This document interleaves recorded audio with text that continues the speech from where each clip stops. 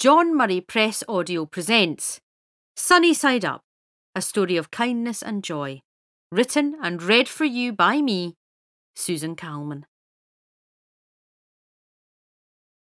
Introduction, or how to manage expectations without really trying. This isn't an academic book, and it certainly hasn't been heavily researched or funded. To be fair, I did recently receive an honorary doctorate from Glasgow University, so technically I am a doctor. My sister, who spent five long years writing a PhD to get the same title, was delighted when I informed her of the honour being bestowed on me. On hearing the news, she shouted, I don't believe it! and threw a mug across the room, which is surely the act of a happy sibling. I don't call myself Dr. Calman in everyday life, of course because sadly it doesn't allow me to wander around a hospital trying to treat people.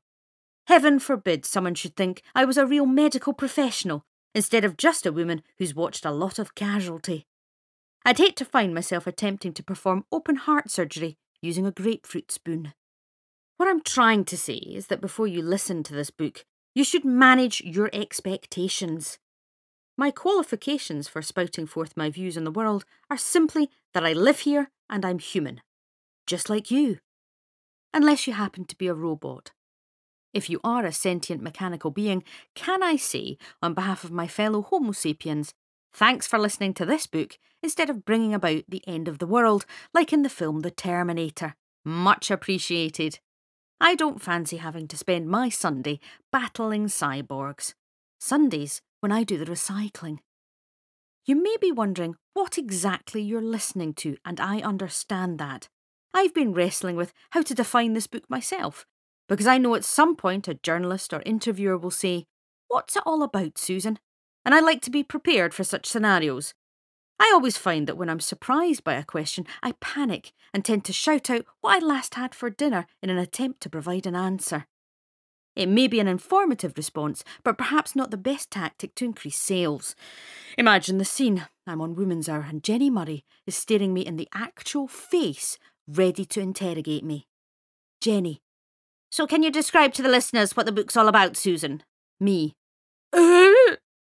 Jenny. Sorry, I didn't catch that. Me.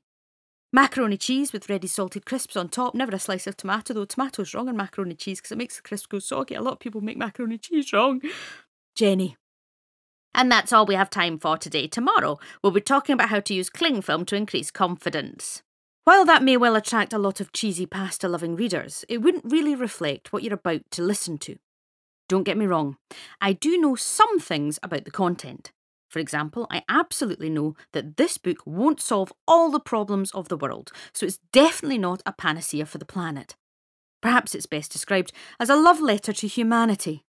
It's also in part a plea, a last ditch attempt to persuade people to be better. You may be thinking, how desperately arrogant, Susan. How dare you try and tell us what to do? But I'm not ashamed to admit that I'm an optimist. It's hard work to continue to think happy thoughts, but I truly believe that this planet and its inhabitants can still be amazing, can still be magnificent, and can still be extraordinary. I'd planned to write this book for some time, but a series of convergent incidents persuaded me that I really had to. I'm a great believer in fate, due in part to my upbringing. My father's favourite expression is, What's for you won't go by you. In very basic terms, that old Scots saying means, What's meant to be will be. I even have a mug that I drink my coffee out of in the morning with those very words emblazoned on it. Every time I don't get a job or I watch a television panel show that I've been rejected for, I remember the saying and wait for the fates to decide my role in life. If it's right, it'll happen. Hopefully. Without getting all spiritual on you this early in the book, I truly believe that although we're all very much in control of our own destiny, that we can often make things happen through sheer determination. Sometimes, for no discernible reason, we're given a nudge in the right direction. Whether it be dancing on the television as Wonder Woman, or a chance encounter in a car park, sometimes things simply must happen, and they often happen to me. I was at the supermarket in Glasgow a year or so ago, my wife and I had finished our weekly shop, loaded the car up with cat food, beetroot, and macaroni. We have a very interesting diet, and set off for home. As we turned the corner to exit the car park, we saw an older woman. I won't use the term elderly, as that should only be used to describe trees, not people, who was resting against the boot of her car. She wasn't distressed or upset, she just looked tired. All we were about to do was go home and play Assassin's Creed, so we stopped the car to see how she was. Turned out she was fine, but she was indeed tired, so we offered to do her shopping for her. After a lot of objections, we did what any sensible person would do and bundled her into our car to wait for us. I mean, it probably looked slightly suspicious from afar, but we were all having fun. We bought her shopping, a bunch of flowers, wouldn't accept her money, made sure she was safely in her car, and she drove off. A few weeks later, my agent got an email from that lady's friend. She'd considered writing to the Sunday Post, a Scottish newspaper, to try and contact me, she said, but decided to try the internet instead. The lady we'd helped was 92 and still going strong. She and her friends played bridge together every month, and as I corresponded with her pal, I learned a bit about their lives and their stories. I asked for their addresses and I started to send them postcards from my travels. As time progressed, they would send me updates of how they thought I was doing on Strictly, and I would give them some gossip from behind the scenes. Christmas greetings followed, and in a spell of bad weather, I contacted them to check they were okay and asked if they needed help with anything. In return, I was told of family members' achievements and interesting books to read or music to listen to. I tell you that story because it's so very simple. From that one act of kindness, I have a group of friends who I would never have met in any other way, and that fills my heart with joy every day. Over the past few years, I've changed my life. I've gone from being miserable in the shadows to walking in the sunshine. I've most definitely turned my life sunny side up. So if I'm asked to describe this book, I do know what to say. It's about two of the best things in the world kindness and joy. And I, possibly the grumpiest woman in the world, I'm going to try and tell you why you need more of them in your life. Because I don't know about you, but I love a challenge. Disclaimer Once a lawyer, always a lawyer. This book contains a lot of words, and many of them come in the form of opinions. Those opinions are mine and mine alone, and I often have little evidence for them apart from what's in my own head. In order to preempt some of the more obvious complaints I may receive, I'd like to make the following disclaimers to prevent angry social media interaction. I find that anticipation is often the best defence. I make many sweeping generalisations in this book, I will happily tell you my thoughts on many subjects and offer little evidence to back them up. I offer no apology for such a gung ho attitude. I just need you to know that's how I roll. Number one, I never seek to deliberately offend anyone, so if at any point I use the wrong terminology or accidentally appear insensitive to any community, I apologise in advance. If you think, was Susan being rude to me there? I probably wasn't. If I want to offend you, then you will definitely know about it. Number two, names, characters, businesses, places, events, locales, and incidents are either the products of the author's imagination or used in a fictitious manner. Any resemblance to actual persons, living or dead, or actual events is purely coincidental. Unless they're clearly someone real, then I am talking about them. Number three, don't get angry if you disagree with me. It's not worth it. It really isn't. If listening to this book makes you apoplectic with rage and unable to function, then give it away. Don't stew over it. This day could be our last, and there's little point in wasting it on me. Do something amazing. Watch an old movie. Have a laugh with friends. Use the book as a doorstep or in the cat litter tree. I can't make you like me. I'm not a hormone. Number four, I will contradict myself. Or I won't. See, I, I just did it there. Number five, I will absolutely go off topic at times. Please remember this. If you're listening to a chapter and suddenly think, why is she talking about that? Stay with me. I will always get back on track. I just really like getting to my destination via the scenic route. Please address all complaints to me on social media using the hashtag SusanRocksMyWorld. I don't often look at my mentions, but if you use that, I'll definitely see your comments. Nothing like starting a book on kindness and joy with a legal disclaimer, is there? You know what they say once a lawyer, always a boring, risk averse idiot. Enjoy! Chapter 1 The Beginning. I guess you're wondering why I called you all here. You may have been given this book as a present, or you may have liked the cover, or you may have recognised my face from the television. Perhaps it was a charity shop impulse buy. Or more likely, it's the year 2057, and you've found this in the barren wasteland that used to be planet Earth. Only copies of my book, Cockroaches, and Boots Advantage card survived the rise of the machines. The Terminator will happen. But however you found it, I hope you enjoy what you're about to listen to. Being honest with you, I always like the start of a book. Some writers are frightened of a blank page, but I find it fascinating. To be fair, this book is non fiction, so it's not as difficult to kick off as one set in the realms of fantasy. Fiction is trickier. I've always wondered how I'd start my made up magnum opus, which is incidentally a detective novel set in Glasgow, starring a woman who has a lot of cats. Look, it's non fiction, okay?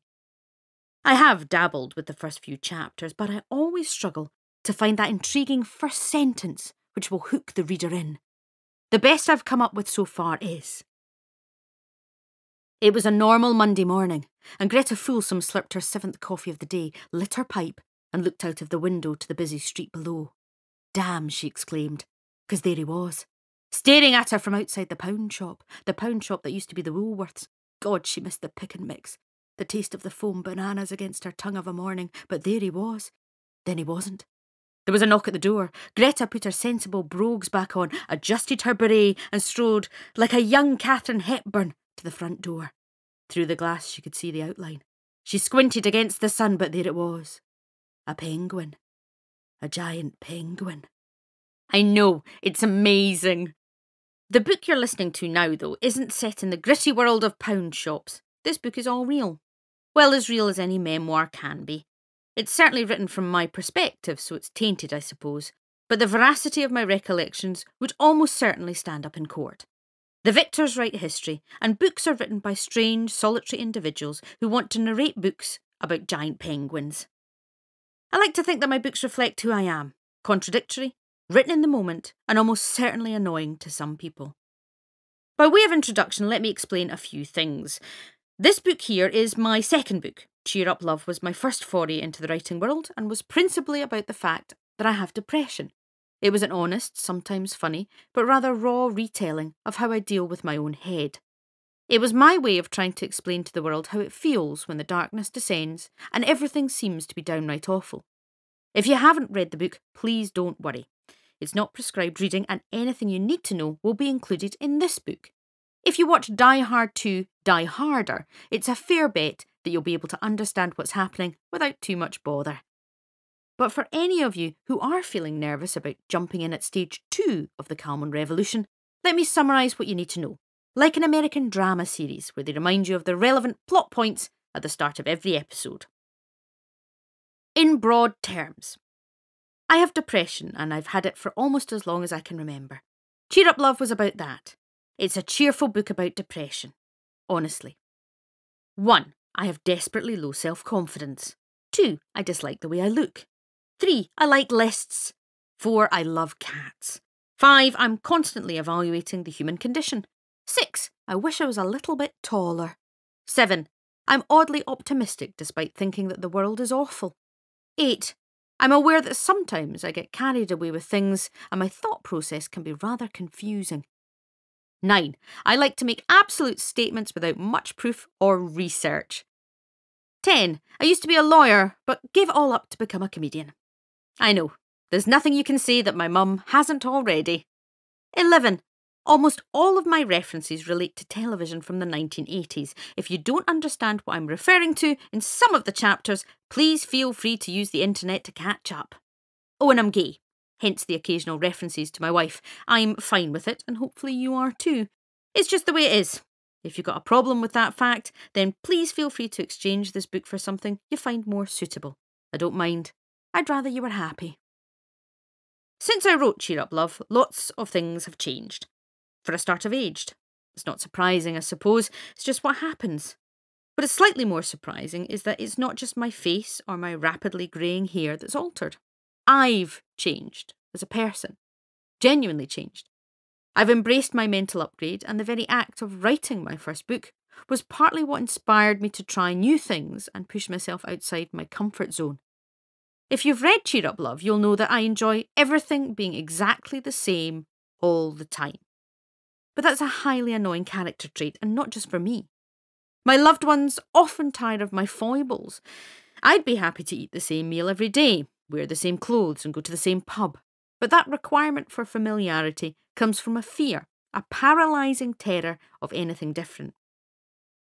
It turns out that living that way is quite dull, and the stomach churning feeling of jumping outside a comfort zone can be quite exhilarating. I was doing okay, I was managing, coping well, even. But I was missing something vitally important from my life joy. I was cruising along, but I wasn't truly happy because it was safer in many ways not to be. But then in 2017, I did something quite peculiar, which changed my life, probably forever. And it was something that made me rather evangelical about having fun, lightening up, and feeling the absolute rush of excitement that can come from true happiness. In my first book, I talked about suggestions people had made to help me with my depression, one of which was to dance. I said this I can't dance, so all I really expressed was the fact that I hated the fact I couldn't dance. Also, I don't know if you've ever tried to throw the shape of the emotion caused by someone writing something offensive about the way you look in an internet forum, but it's not easy. This particular paragraph has been quoted back at me often on social media in recent months. And so I'll be honest, I am quite happy to retract that statement in full, because recent events have empirically proven it wrong because I managed to dance for 10 weeks in the BBC show Strictly Come Dancing, which, if you're one of my international listeners, is the equivalent of Dancing with the Stars. I cha cha'd and quick stepped my heart out and lasted far longer than I think anyone would have thought possible. Most importantly, by the time I'd left the show, I was a very different person to the one who started it. But this book isn't all about Strictly because I'd started writing this book long before I entered the beglittered world of dance. For the past couple of years, I felt an irresistible urge to do something very simple. I wanted to change the world. Strictly was a happy accident that added to my mission. But I've inhabited this planet for 43 years at the time of writing, and I've become increasingly upset at the way things are going. Like a BBC drama that's brilliant to start with, but by episode 3 you're throwing things at the television in frustration. Fear, anger, rude behaviour, intolerance, spite, and bullying are all in evidence every single day of the week. But I believe that if we were all a little bit kinder, a little bit more full of joy, things would be better. Sometimes things come together wonderfully, like Cagney and Lacey, or baked potatoes and butter. And so Strictly Come Dancing melted beautifully into my theories of how to make the world a better place. It was as if I was living through an experiment full of glitter and sequins. As I danced, kindness and joy shone through from the people I met, the people who watched the show, and the strangers who became friends. So, this is my Calmanifesto of Happiness. I hope you enjoy it, and I really hope it makes you feel better. Chapter 2 Kindness. What is it, and why do we need it? I'm a very old fashioned gal. I state that because sometimes people think I'm far more alternative than I actually am.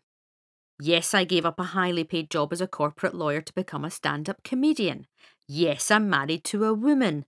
And yes, I do think that packet white sauce is superior to a homemade roux. But apart from these obvious eccentricities, I'm actually very traditional. I was brought up to have manners, to respect my elders, to say please and thank you. If my family had a mantra, it would be make sure you don't bother anyone. While I'm quite happy that some of the more repressive aspects of Victorian Britain are now obsolete, for a start, I'm allowed to get married now. And I don't sit in my leather wingback chair of an evening shouting about how things were much better back in the day. I have become quite uneasy about the way society is moving. I yearn for the time when you could leave your door open and kids could play in the street. I want to hold on to that idealistic view of life, and yes, maybe it didn't exist everywhere in the country, but hey, don't stop a girl from dreaming. In many ways, the past few years have felt like the start of a horror movie. That slow, but discernible feeling one gets when watching a cheap slasher flick on the television. Things are about to go horribly wrong, but no one seems to notice. Why did they go into the basement? Why did they swim in the sea at three in the morning in the nude? Why did they wander into an empty house in Texas that had chainsaw marks on the door? The thing that I value in life more than anything else is kindness. A kind person is the most attractive person in the world. I fell in love with my wife the moment I saw her because she seemed to have the kindest face I'd ever seen. And I was right. She is kind. Sometimes overly so. She's the type of person who will take a photograph for someone and end up inviting them to Christmas dinner. In many ways, my kindness comes from her. You may not believe this, and many don't, but I'm an extremely shy person. I really am. People are often confused when they meet me in real life and are confronted by a shuffling woman who doesn't seem to resemble the confident, flirtatious person they've just seen on stage. So, when audience members would come up to me after a show or stop me in a shop and try to speak to me, I would simply walk away rather than have to chat to them. My wife, the personification of kindness, took me aside one day and, in the incredibly sensitive way that she has, told me that I was being an arse. She reminded me that my awkwardness with social encounters was irrelevant compared to the feelings of the people who'd come up to speak to me. She asked me a simple question How would you feel if someone you really admired was rude to you, irrespective of the reasons why? And she was right, because I had once dared to make a similar approach in the dim and distant past. Many years ago, when I just started out in comedy, I went to an award ceremony. It was a very relaxed affair, a few drinks in a bar, some Perspex trophies, and lots of comics of varying ability and fame all milling about together. I was standing at the bar, minding my own business, when I saw my comedy idol, Victoria Wood. It's difficult for me to put into words what she meant to me. For years, she was everything I wanted to be, and she still is. I first saw her on An Audience with Victoria Wood, a TV special that was made in 1988. I'm sure it was on in the background while a 14 year old me grumped around the house. But for some reason, someone in my family recorded it on VHS tape. I watched it again, and again, and again, and again until I was word perfect. I knew every movement, the cadence, the laughter breaks, and the expressions. I can truthfully say that nothing has made me laugh as much since. I properly laughed at her routines and songs, bent over and crying in pain because I just couldn't stop. I even loved the bits I didn't quite understand. For example, I had no idea why the notion of escaping from a room by knotting together sheets to make a moped was funny, but it was. I saw her at the Royal Albert Hall when she performed for 15 nights, and for me it was as exciting as seeing Elvis or Madonna. And as I grew up watching her, it was clear that it wasn't just comedy that she excelled at. Pat and Margaret was one of the most touching pieces of television I've seen. And with her companion Julie Walters, she proved that she was a creative genius across so many genres. She was my funny friend at a time when I needed one. I was lonely as a teenager with few mates, but I didn't need them when I had Victoria on my side. More than that, when I saw her perform, I knew, as that lonely 14 year old, what it was that I wanted to do with my life. I wanted to stand in front of a microphone and make people laugh, just like her. For most of the intervening 30 years since I saw that first TV show, any close relationship I've made is based on the answer to one simple question Do you know the Ballad of Barry and Freda? If the person answers in the negative, then that tends to be the end of our dealings. In my opinion, if you can't shout, beat me on the bottom with a woman's weekly at the top of your voice, then you haven't lived. It wasn't just me that she touched, though. Victoria's writing became part of the public's consciousness in a wonderful, understated way. I was in a tea room on a small Scottish island not that long ago, and the service was slow, to say the least. One by one, the courses were brought to us by a shuffling waitress and tipped, slowly, onto the table. The only customers were myself and my wife and one other table of hungry patrons. As my order was placed in front of me after some considerable time, I heard the woman at the other table very quietly say, And another soup? We silently high fived each other, then turned back to our respective companions. It was only when I became a stand up myself that I truly appreciated how good she was. Her writing is so specific and detailed that every word counts. She wouldn't go on stage and wing it, she knew exactly what she wanted to say and how she wanted to say it. And watching her taught me a valuable lesson that things could be funnier if you changed a word or a descriptive term. But there she was, a few feet away from me, and I froze. I stood shaking in my shoes, afraid to approach her. Not because she was being standoffish, far from it. She was standing in the middle of the room, quite happily chatting away. Eventually, one of my friends became annoyed at my lack of action, went over to her, and told her I was a big fan. I walked over, squeaked something about loving her, and someone took a picture of us. She was delightful, given that there was a tiny, sweating woman beside her. Sadly, I can't find that picture now. It was in the days before iClouds and backups. I suppose I thought I'd time to meet her again. It sometimes makes me quite weepy when I realise I never will. My wife was right, as she almost unfailingly is, so I always remember Victoria Wood's kindness whenever someone approaches me and tells me that they like what I do. I now stand up straight and smile, even if in the depths of my soul I want to run away. It's trite to say so, but kindness costs nothing, unless you're buying someone a car or something. And it can affect people in a way that you can never imagine. That one meeting was one of the most special moments of my life, and I'll treasure it forever. I really started to think about kindness after writing Cheer Up Love. Examining what I'd written after a hiatus gave me one startling insight. I was angry a lot of the time. And much of this anger was directed at the world, I felt increasingly and unsustainably full of rage about what was happening around me.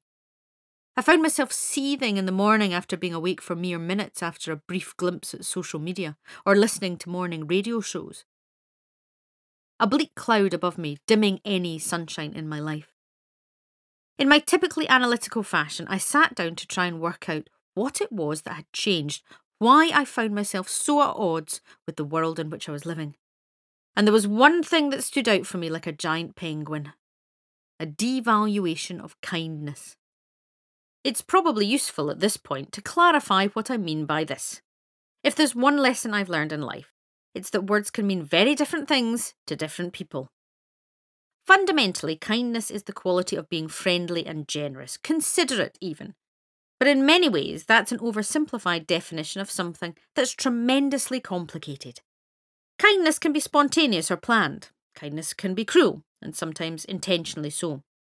There's undoubtedly a school of thought that believes it's better to be brutally honest to people because it's much worse to lie to them. I've never thought anything that upsets others is particularly kind. I've always believed that a kind gesture should have a positive impact of some sort. Of course, there's always a point where someone should be put out of their misery. I said to my wife the other day that I was going to give up my job to become a professional darts player. In a very kind way, she told me to shut up. Thus, I hesitate to provide you with an absolute definition of what kindness is. Absolute definitions are part of the problem these days. You're straight, black or white, anti or pro Brexit, left or right wing. The shades of what make us interesting disappear as the tribal nature of society emerges. But in order to make this book work, I suppose I have to set out what I think kindness and joy are. For me, the essence of kindness is where it stems from, what the intention behind the kind act is. One of the unfortunate remnants of my legal training is that I'm always looking to define something in ways that would apply in court, but this can be a useful process. Think of kindness as a good crime, if you will. Apart from some strict liability offences, in order to be convicted of a crime, you have to have both the mens rea and the actus reus. The actus reus is the actual doing of something. For example, in a kind act, it would be the giving of a present or picking up a wallet that you found in the street. The mens rea is the mental element of a crime, the direct intention of doing something. Kindness is, in some ways, simply the reverse of a criminal act. Have you done something that's had a positive impact on someone and did you mean to do it? Then you've done something kind. That's not to say that kindness can't be unintentional, but this book's agenda is to persuade people to be intentionally kind, to mean it, so while, for example, me not entering Britain's Got Talent with my cat slash human circus group called Calman and the Catrabats is a kindness to the other competitors, it isn't a deliberate act of kindness. I just don't have the time to make leotards for the cats. So the first element of being kind is the intention of making something better for someone. The second part is the proviso that you don't need to do it. Nothing legally or contractually compels you to act in a certain way, but you feel you should. This is obviously subjective to some extent. I'm aware that people have different views on what's expected of them. I've lost count of the number of times I've heard men say they're babysitting their own children, as if being at home and looking after their descendants is some great kindness to their wives, as opposed to what they should be doing anyway. Kindness isn't something you're obliged to do because of an employment contract or a law. At best, it's the gut instinct inside all of us that tells us what we should do. The empathy part of us that spots someone in need and resolves to do something about it. And that to me is the essence of why kindness is so important in the world right now. Empathy. Harper Lee in To Kill a Mockingbird wrote, You never really understand a person until you consider things from his point of view, until you climb inside of his skin and walk around in it. While I'm not in any way advocating that you kidnap and skin a stranger, the experience of understanding another person's condition from their perspective is crucial. Placing yourself in their shoes and feeling what they are feeling. In that way, you can feel pain and hope and joy. In some ways, it's about being a mind reader which is actually easier than you might think. I've been fascinated by mind readers and spiritualists for years, ever since I learned of the Fox sisters, a group of women who were instrumental in the birth of spiritualism. They used a series of noises to indicate that they were communicating with the spirits and were much feted in society as the real deal. It turned out that they weren't communicating with the dead, rather, they were contorting and cracking their joints to create an unearthly sound that fooled many of those who went to their seances. Oddly enough, in a way, this interest in spiritualism led to my career in comedy. While I appreciate that plenty of people believe in life after death and communication from beyond the grave, many of those who've claimed to be mediums are actually just incredible empaths. They can look at someone and, from the changes in expression and their body language, make educated guesses about whether they're on the right or wrong track. They can tell if they've hit a nerve or if they're way off target. The best comedians are empaths. They know if a joke is hitting the mark, and not just by the laughter, but by the way the laughter sounds, the looks on people's faces, and the way the room moves as one. The key to empathy is to look at someone, to really look at them. Not just a cursory glance and not a strange penetrating gaze either. There's a middle ground where you can properly see someone, communicate with them, read their minds, so to speak. That's often why an unexpected kind gesture really hits home. How did they know? I didn't say I needed help. I didn't ask for this. It's because someone has paid attention, has noticed, and has listened. It's quite astonishing how much effort it takes to pay attention to someone for a prolonged period of time, though. My brain is now so trained to think of several things at the one time that slowing it down can feel painful. I'm as guilty as the next person of having a conversation with a friend, looking in their eyes as they tell me a story from their life. While in my head, all I'm thinking is, I wonder how you make mackerel patty. I must look that up in a minute, but then I'd have to buy mackerel and maybe an avocado. And I had an avocado, but it went off like those raspberries. But why, why don't I eat fruit? I should go to the gym. Last time I went to the gym, someone scraped my car. I should get a new car. Maybe a van like an A team. Wonder if they still show the A team anywhere. Is there a market for soldiers of fortune these days? I am a brilliant friend. In my mind, the advent of recent technology has made this brain hopping more prevalent. I'm happy to admit that I'm as much of a tech fiend as the next middle aged lesbian, but I know what it's doing to us. Mobile phones packed with apps. I need to tweet what I'm doing. I should be Instagramming this coffee. Even when we're talking, we're thinking about the next thing, the next text, and the next post. The older I get, the more I hate mobile phones and what they've done to us. I went to Florence with my wife and, as you do, looked up the must see locations in the city. One of them was the Uffizi Gallery, filled to the brim with art and sculpture and history. We dutifully filed into the museum, ready to be overwhelmed by what we saw.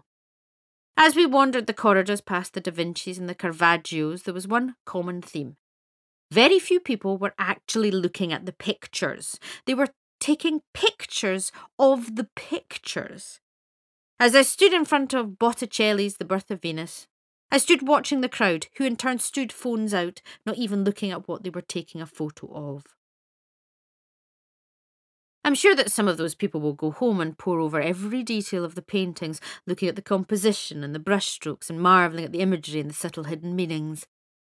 Just as many will probably stick the pic on their Facebook page with the same amount of care as the picture of the spaghetti that they had for lunch. They don't see anything, they don't look at anything. Everything is second hand, even opinions. I had a conversation with a mate at the end of last year about the new Star Wars film. When I asked my friend whether she liked it, she replied that The Guardian had given it a fair review. But did you like it? I asked again. What followed was a number of different reviews and opinions from various internet message boards and websites that formed an opinion about the movie. She couldn't actually tell me if she liked it. It was as though she was afraid to have an opinion in case it was wrong. I told her exactly what I thought, that I mostly enjoyed it, but I was slightly disappointed with some aspects. The silence that followed was deafening.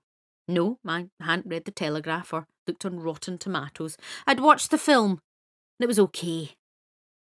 You might not have given it much thought before, but I suspect you have your own definition of what kindness is. It might be different to mine, but that's okay. For the purposes of this book, kindness is a deliberate act which involves other people that you may or may not know personally, and some form of action or thought bringing about a positive result. It's a bit of a ramshackle definition, but it works. Goodness me, I do love putting together a ramshackle theory. You can see now why the kindest thing I ever did for my clients was to stop being a lawyer. Chapter 3 Joy. Happiness by any other name would smell as sweet. This book is about two discernible things kindness and joy. Kindness is in many ways the easier topic to write about because, as a concept, it's easier to understand. It's something one can create with a positive action. Whereas joy is a very personal thing, a feeling that can be generated by others or created internally. Joy also changes with age. What makes one scream with delight at the age of eight seems meaningless through the passage of time, and so to isolate and define it is tough. That's what makes it so delightful, though, because joy can surprise me in ways that I still find rather magical. And in the same way, witnessing the joy of others can be truly magnificent. To me, joy is more than happiness. It's a sudden rush of excitement and pride and emotion that can last a millisecond or an hour. An unexplainable part of the human mind that obliterates the bad and only accepts the good. Like when the Millennium Falcon jumps into hyperspace in Star Wars, the mind shoots forward joy and transports us to a primal place where nothing but wonder exists. One of the reasons I love joy is that the thing that gives you that feeling is different for everyone. When I was much younger, I got the most amazing Christmas present ever. I'm going to say I was 10, mainly because I can't remember how old I was, but 10 seems appropriate. In almost all of my childhood stories, I'm 10. It just makes things easier. So when I was 10, I got an unexpected gift. Every year we got to browse the Argos catalogue and choose a present. Santa would then know what we'd chosen because we'd send him a letter and if we weren't total idiots for the rest of the year, on Christmas morning, those presents would be waiting for us in the living room. This particular year, I got a portable record player. It played 45s, 33s, and 78s. The sound quality was terrible. The records jumped if someone shut their car door at the end of the street, but oh my gosh, the feeling when I opened that present. I hadn't asked for it, you see. It was an extra, a surprise, and I felt like the coolest girl in school. You could pick it up and walk around with it. And that's what I did. I used to pack that record player up and walk around the house with it for no reason other than that I could. It was one of the first times in my life that I can remember feeling joy as opposed to contentment or happiness. I'm sure I'd had moments of excitement before, but this was different. This one connected everything into one ball of happiness. And even the memory of that player, of sitting on my bedroom floor playing the 7 inch single of Madonna's Into the Groove, makes me smile. Residual joy may be less potent, but it's no less fun. People talk of feeling joy when their child is born or when they get married, but even a simple rush of happiness in smaller doses is incredible. The most mundane event can fill your mind with positivity, and often, as you get older, it's the practical things that bring the most joy finding that the milk in the fridge is still in date when you thought it might not be, making the earlier train home, a cat falling asleep on you and snoring for hours. I remember the first time I felt proper adult joy, and I don't mean anything saucy by that. I mean the first time I experienced happiness because of something responsible and grown up. I'm slightly ashamed to say that I put off being a responsible citizen for some time. Even after I left my student digs and bought my first flat, I didn't wholly buy into being a grown up. I don't know if it scared me a little bit or I just couldn't be bothered. But shopping was done in a haphazard fashion. I ran out of cleaning products regularly, and more often than I care to remember, I'd be running to the supermarket on a Monday morning for the most basic of supplies. We hope you enjoyed this preview. To continue listening to this audiobook on Google Play Books, use the link in the video description.